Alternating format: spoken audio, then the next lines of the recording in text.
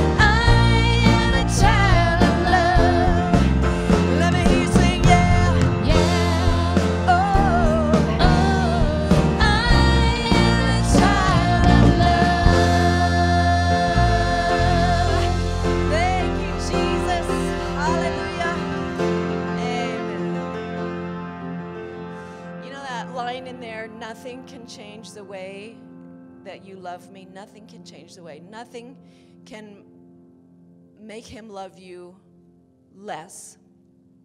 And nothing can make him love you more. You can't, you can't, your, with your works, you can't affect his love. His love is constant, unchanging, and nothing can change it. Amen. You can't find a relationship like that anywhere except Jesus. Amen. One, two, three, here we go.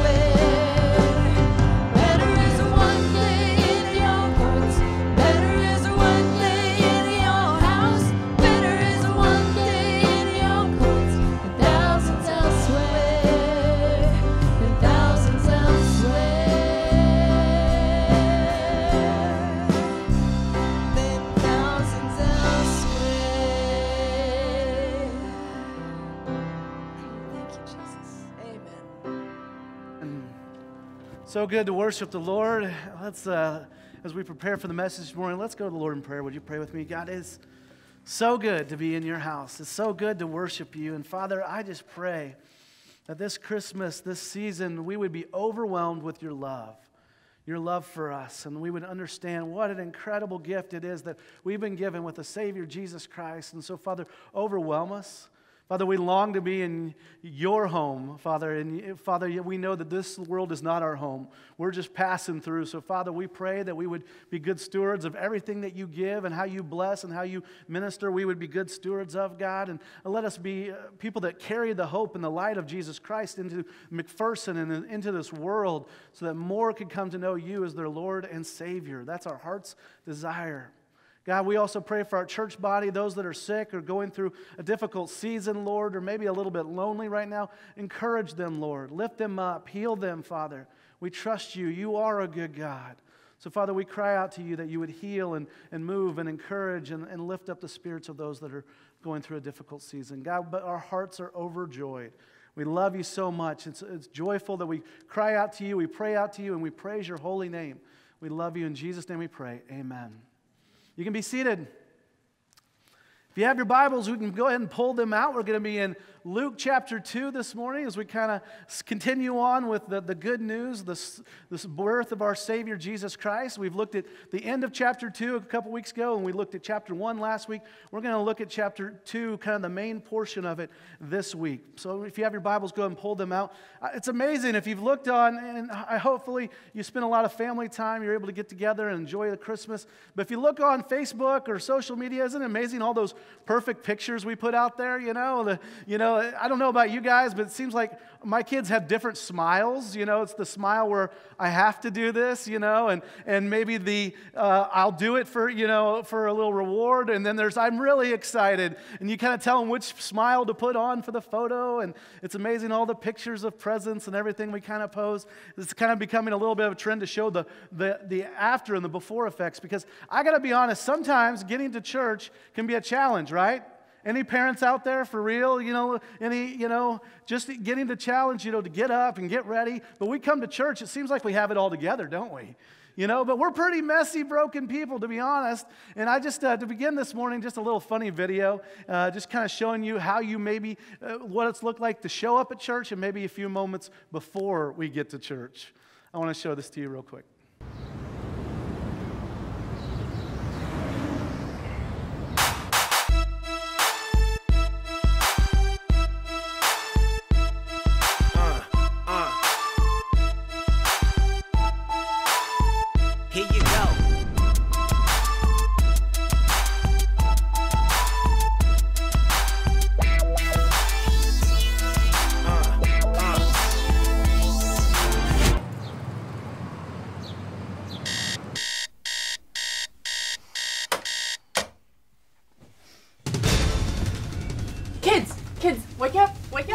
Sunday.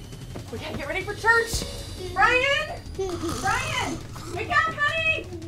Brian, get up, get up. What? Oh. Okay, I'm gonna hop in the shower real quick. You get the kids ready, and then we'll get going, No. okay? Hey, What? you just lay out their clothes because it takes me five minutes. Honey. That's perfect. Seriously.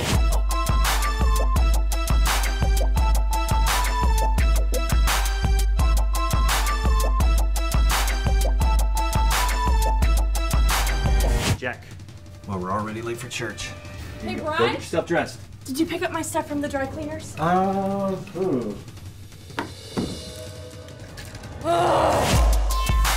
Make it, break it.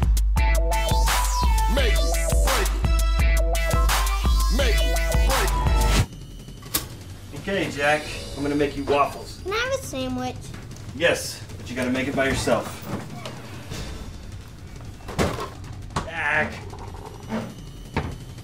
Okay. This is all I could find, and the zipper's broken. All right. I'll go grab a safety pin. I got the high score! Make break. Make break it. Hannah, what are you doing? Daddy, I'm painting your fingernails. Well, that's great, sweetie, but go get dressed.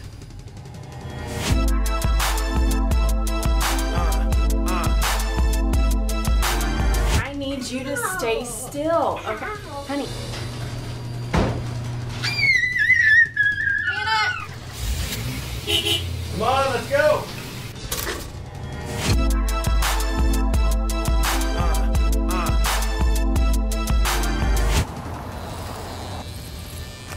Okay, everybody needs to eat. Here you go. I need one. Here you go. Okay, here you go. I forgot my shoes! Honey, we gotta go back.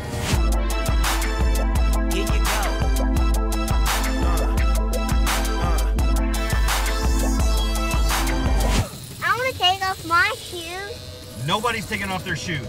And I want everybody to understand that when we're what?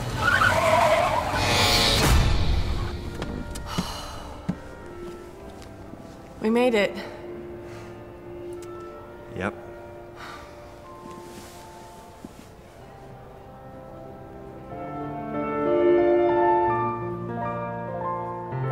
Be honest. Anyone ever feel like that? Get to church? Yeah, we can. Sometimes we are imperfect. It's a mess sometimes, but you know what? Here's the good news. I want you to know Jesus Christ loves you.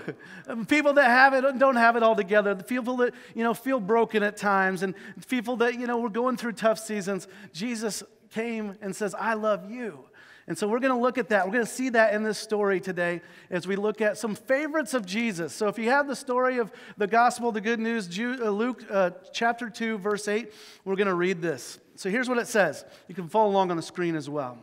In the same region, shepherds were staying out in the fields and keeping watch at night over their flock. Then angel of the Lord stood before them, and the glory of the Lord shone around them, and they were terrified. But the angel said, Don't be afraid, for look, I proclaim to you good news of great joy that will be for all the people.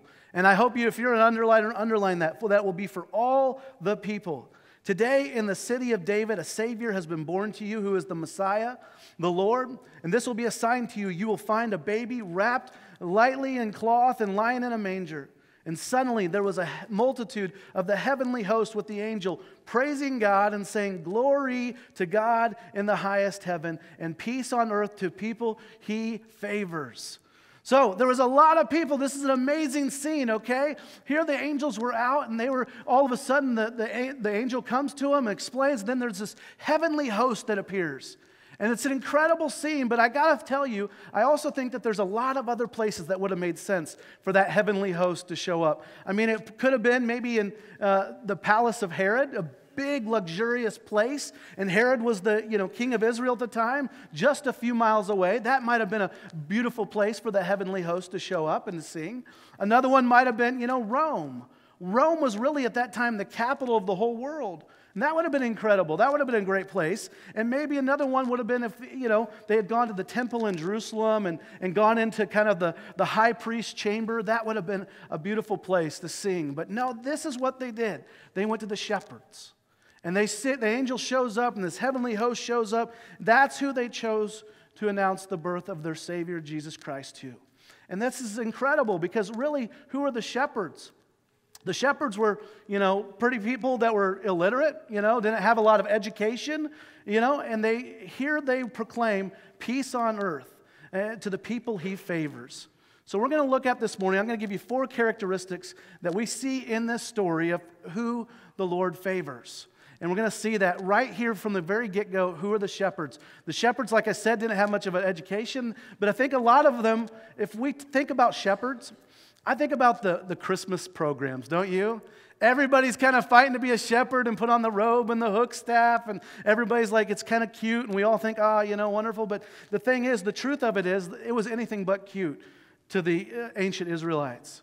You know, shepherding was kind of the lowest of the low, okay? They were the bottom of the class and, and they were unskilled labor. And, you know, what, shepherding, what people would usually hire is, uh, you know, maybe pay a, a couple kids to do it. And they might, people just passing through that needed a job. But if you were an adult Jewish man and you were still shepherding, let me tell you, life had not gone as planned, okay? It was not, you know, basically life had been kind of a total failure. So they were kind of the poorest of the poor and their testimony. If they were to give testimony, people wouldn't even believe them. They wouldn't even listen to them unless it was verified by somebody else. So that's who the shepherds are. And so we see that of all the people in the world, God chose to announce the birth of Jesus Christ to, He chose the shepherds. And so we're going to see in this story four characteristics that Jesus favors. So the first one is this if you want to write down notes on the back, you can, is that He favors the poor. You know, we've talked about this over the last couple weeks, and we've seen how Mary and Joseph didn't have a lot. They couldn't present the lamb at the sacrifice. Instead, they present two pigeons or two doves. And, you know, here I want you to know about angels. Um, the angels give it to the shepherd, and he was declaring, I see you. You matter. I care for you. I love you. If you don't have, you know, a lot, he wants to bless them, but bless them with something more than even financial gain. He says, I want you to know about the Savior of the world, Jesus Christ. I'm giving you the best news ever. And I think sometimes when we don't have all the best cars and everything, and we're not so full of, you know, filling ourselves like, I don't even need the Lord. But when we're more empty handed, that's when we say, you know what, we're in a better situation to receive the greatest gift of our Savior, Jesus Christ. And so clearly, you know, we need to be generous to those that don't have a lot. And we, I want you to know this church is incredibly generous. Uh, I got to tell you, you know, in the last couple weeks, it's amazing. People have come up and say, hey, would you bless someone? Here's some groceries, bless somebody with it. And our church body um, as well, uh, this last week, we wrote checks for, as a missions team, for over 23,000 going out to bless and to grow and expand the, the gospel, the good news. We have a Jesus film team that has a whole backpack and they're going to go all over planting churches. We're taking care of a, a village in Guatemala. We're going to try to give them water this next year. And it's incredible to be generous, but God's got a special place for those that say, you know what, I don't have a lot. I need you. And he gives the greatest news to this, uh, these shepherds because they don't have a lot. So we see that he clearly favors those that are, poor. The second one he favors, uh, as we're kind of going through this, is he also favors those whose lives are a little bit messy. And I, I got to tell you, shepherds were not a group of people that had it all together. They just didn't. They just, you know, their lives, you know, they weren't the top of the class. They weren't, you know, uh, maybe they didn't have, when people talked about them, they didn't talk about them in a very positive tone. You know, people, basically, their lives had just kind of gone off the tracks. So maybe you feel like this. I don't know. Maybe you feel like your life's a little bit messy and it's frustrating when you see others and it seems like they got it all together. They got the job, they got, you know, the, you know but sometimes I want you to realize that Christ says, Hey, if your life's a little messy, I love you. I care for you. I want you to know I notice you. And Jesus actually says he favors you. That's the truth. And so here we uh, have one of the best names I think that God gave Jesus in the book of Isaiah, through the prophet Isaiah. He says, He is the wonderful counselor. Wonderful counselor. Here's the word for counselor in Hebrew it means a reliable guide, someone who leads from a place of authority. Now, this isn't just a counselor that comes along and says, it's going to be all right, it's okay, everything's fine, don't worry about it. No, this is someone who will guide, is guiding you through problems, the ups and downs, and in the darkness, He is the light. That's who we have in Jesus Christ. And He's like a shepherd. You know, he, no wonder the angels appeared to him because, you know, the angels, the shepherds knew what it was like to be lost and need to find their way. And so that's he they could have related to that, needing guidance. And I love this name, Wonderful Counselor, because you know what it means? It means that Jesus came for people who have problems. Maybe you have some problems. Maybe you have some difficulty. You know, you don't go to a counselor when everything's great and perfect. You don't say, I just wanted to spend an hour with you and here's $150 of my, you know, resources. No, you, you go to a counselor when you feel kind of lost or overwhelmed or exhausted or stressed out or confused. And this, this is probably the most obvious statement possible, but every miracle of Jesus began with a problem, right? It did. He didn't just go around saying, I want to tell you about who I am, the Son of God, and I'm going to, you know, guess your weight within a half a pound. No, he didn't do that. You know, he said, you know, you've got some issues. What did he do? He healed the blind. He cured the sick. He, in those storms, he calmed the storms, and he also multiplied food for the hungry. That's what Jesus did. So here's the good news you got problems. Hey, you're in line for a miracle. God wants to do a miracle in your life. And if you don't have problems, let me tell you, you probably should come down and we can pray after the service, and God will give you some problems. You know, we can pray for that because you want to be in line for God to do a mighty work in your life. So maybe life's a little bit messy. And maybe you've been kind of carrying these burdens, these stresses all by yourself. And what I want to encourage you to do is lay them down at the feet of our wonderful counselor and let him bear them with you because he says, Come to me, all who are weary and heavy laden, and I will give you rest. So Jesus came for those poor, those that have uh, lives are a little bit messy. And the third one this morning that he also came and uh, favors is that he also uh, those people that feel forgotten. You know, shepherds were known to just be uh, by society just kind of not noticed. They were forgotten. They were kind of left behind. Even by their families at times, they were kind of forgotten. And nobody would go to, a, you know, kind of a party and just brag on their kid who was a, a shepherd. It was kind of like, no, he's still a shepherd, you know. And so they were forgotten. And yet God favored them. And maybe some of you feel that way.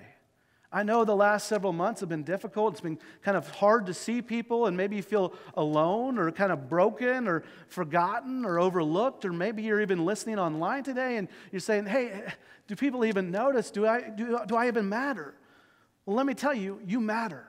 You matter a whole bunch to the Lord. He loves you and He has not forgotten you. In fact, He's chosen the shepherds to say, I haven't forgotten you. I see you and you matter. I've, uh, I've always loved Psalm 139. And, and in your time, you might want to read through the whole psalm. It's incredible. But I'm going to read a portion of it because the, in Psalm 139, the author's kind of wrestling with feeling forgotten. And he's saying, Lord, do you even know me? Do you even know what's going on in my life? And maybe you felt like that lately. I want you to hear this. Psalm 139 says this in verse 1 O Lord, you have searched me and know me. You know when I sit down and when I rise up. In verse 4, it says, Even before a word is on my tongue, behold, O Lord, you know it altogether. You hem me in behind and before, and you lay your hand upon me. Such knowledge is too wonderful for me. It's high, I cannot attain it. Verse 7 says, Where could I go from your spirit? Where could I flee from your presence? If I send to the heavens, you're there. If I make my bed in Sheol, a word for hell, you are there. If I take the wings of the morning and dwell in the utmost parts of the sea, even there your hand shall lead me, and your right hand shall hold me. If I say, Surely darkness, the darkness shall cover me, and the light about me, uh, about me be night. Even the darkness is not dark to you. The night is as bright as day, for darkness is as light with you. In verse 13, it says this You formed me in my inmost being. You knit me together in my mother's womb. I praise you, for I am fearfully and I am wonderfully made. And verse 16 says, You saw my unformed substance in your book were written, every one of them. The days were formed before me, before there was even a single one of them. You had a purpose for me. In verse 17, How precious to me are your thoughts, O God. How vast is the sum of them. If I would count them, they are more than the sand of the sea. I am awake and I am still with you. This writer is basically saying, Hey, I'm, this is like a dream. I can't believe you love me this much. You know me this much. You think about me this much. So if you feel forgotten, let me tell you, you're not forgotten. How much do you think God thinks of you? I mean, my goodness, look at this. He saw you in the womb. Before your mom even knew you were pregnant, there he fashioned you and he formed you and he gave you a specific uh, design and a purpose for you. He loves you. And he says, I ordained all of your days. You know, he laid them out and he's watched over you in the good times, he's watched over you in the bad times. And when it felt like darkness, it says, No, no, to you, you are the light. How much does the Lord think about you? This should overwhelm us, I really believe. He says in this, he says, I thought about you more than anything else. You know, the sands of the seashore. Now, I thought this would be interesting. How much do you think, you know, the sands of the seashore, how much is the sand in one cup? One cup. I didn't count this, okay? I looked this up. I'm not going to tell, I'm not to lie to you. I looked this up. Two million. Two million pieces of sand in one cup. I mean, my goodness, he thinks about you. Who have you thought about for two million uh, times? The Lord notices you. You matter.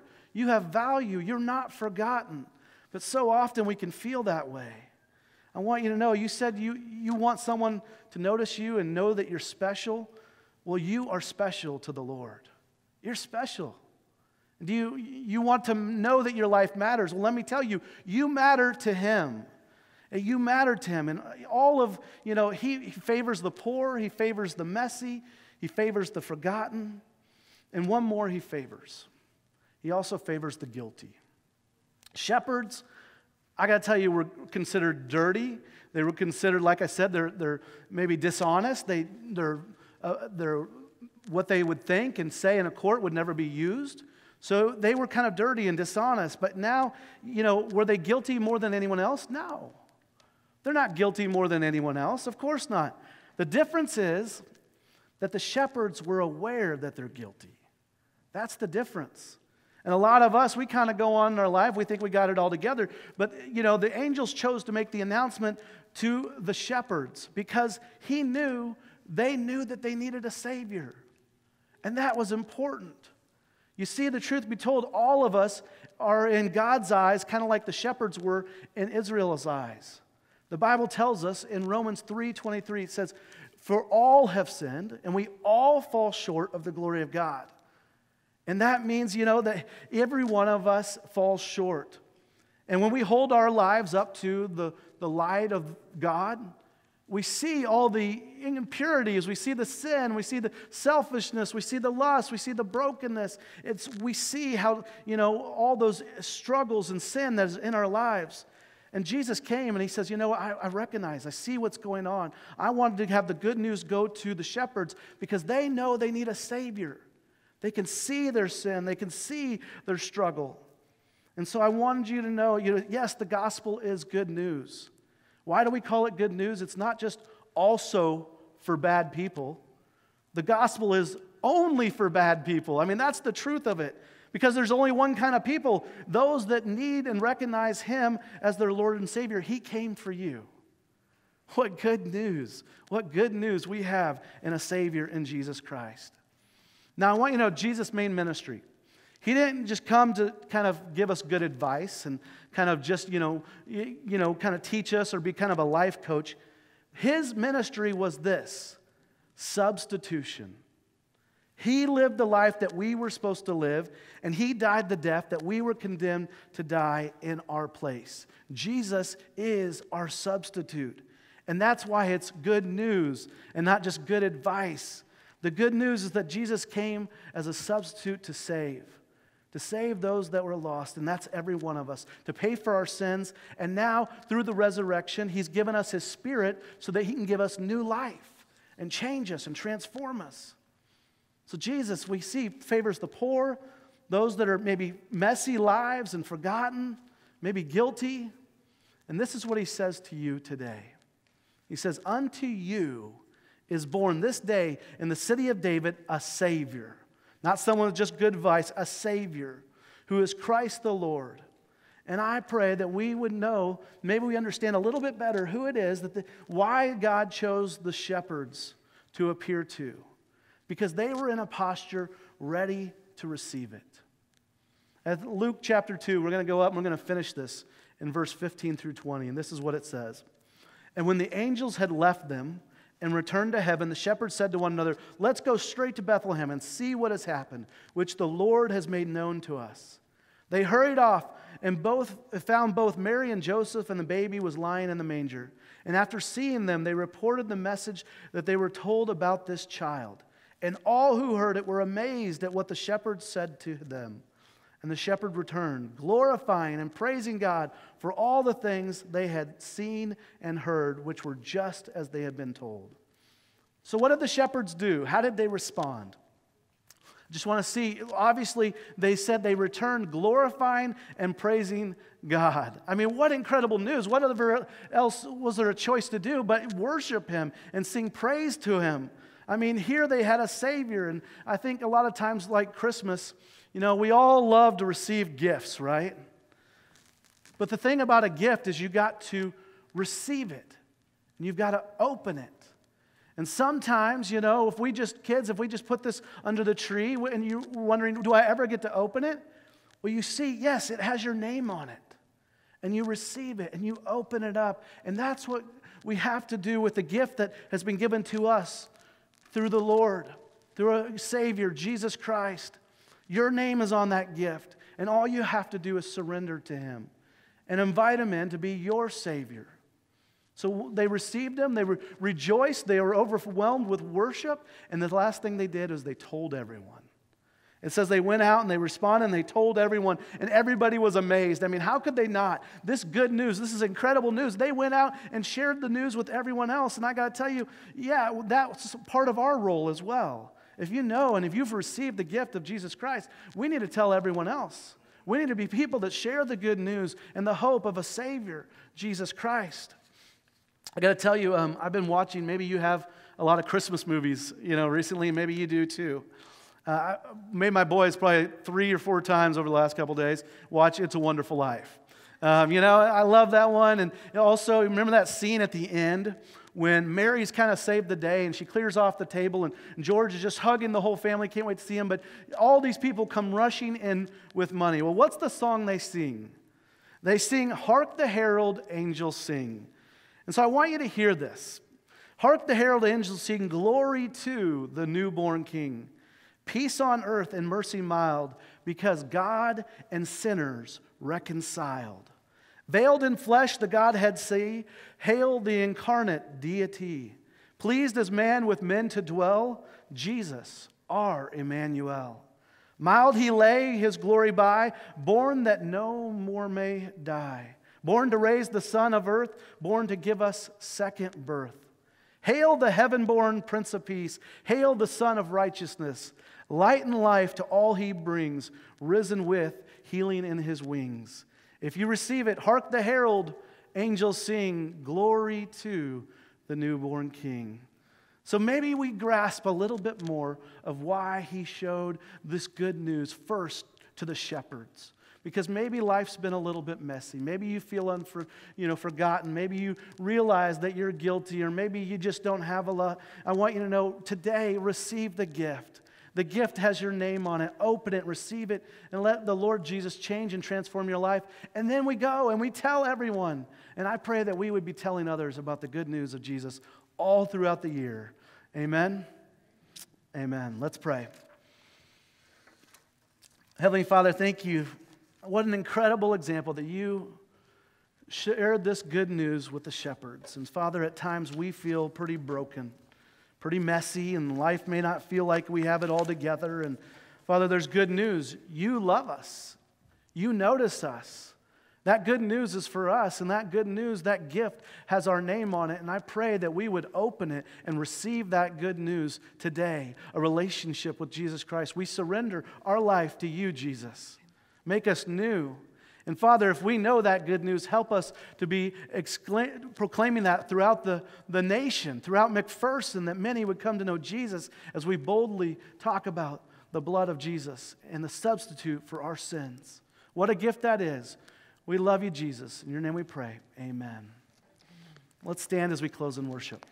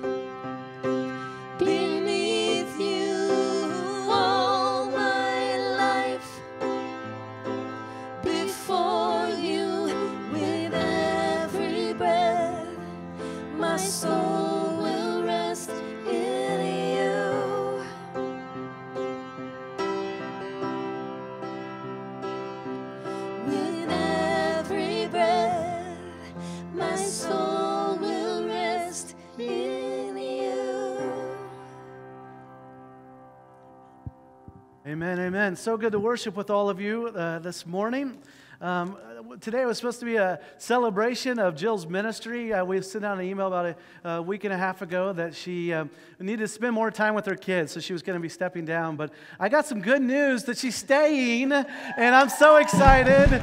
The uh, elder board worked it out, so, so she will get some time. We want to make sure that she gets time with her kids, but we're so thankful for her ministry, her heart for the Lord. Um, her husband, Mark, their whole family are just an amazing gift to our church body, and so we're so thankful she's staying. So there is still cake, okay? so you still get cake, and it's more of a celebration, but I want to encourage you, you know, as you have time, you know, send thanks and appreciation. Um, Jill just does a wonderful job with the whole team in leading and leading us to the Lord, and that's an incredible gift. And I want us to never take advantage of that. So we just thank you for Jill, your ministry. We're thankful that you're staying and continuing on. It's a real joy for us, and we just appreciate her. Let's give her a big hand. I'm really thrilled about this, so it's just wonderful. So that's good news, and you still get cake afterwards. So it's a win for everyone. Uh, here's the benediction May the Lord bless you and keep you. May the Lord make his face to shine upon you and be gracious to you. May the Lord lift up his countenance upon you and give you peace. Amen. Have a happy new year.